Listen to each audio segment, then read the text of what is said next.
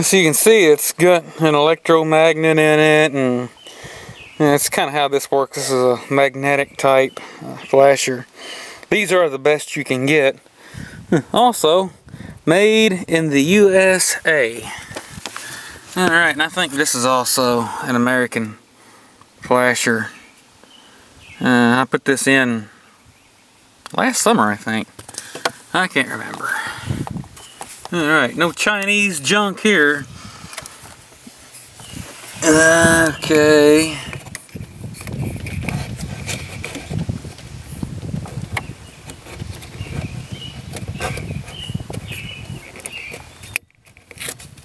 There we go. Huh. Huh. That's not good. Or the fuse panel is broke. It kind of sucks, actually. Yeah, see? I have to work on it sometime. Okay. Well, let's try it out.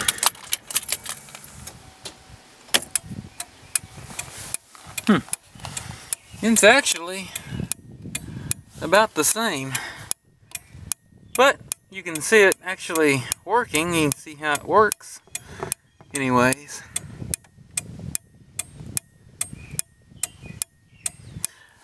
Okay. Uh, that's about it. TGIF. Yay.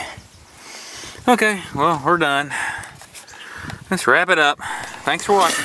While I was here, I decided I would go ahead and replace this stock um, 552 uh, four-way flasher with this one, excuse me, that I had had. Why in the hell uh, they decided to, Ford had decided to put the four-way flasher on the passenger side is beyond me. But then again, that's who we're talking about, Ford. Some of the things they do doesn't make the most of sense.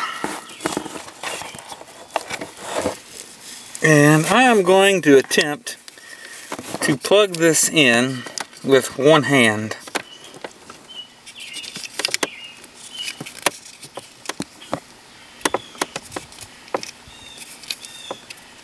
Can I do it? Uh, probably not. Oh, here we go. Hmm, I'll do that again if you want me to. Hmm, I can plug it in, but I can't unplug it. How about that? There we go. I have unplugged it.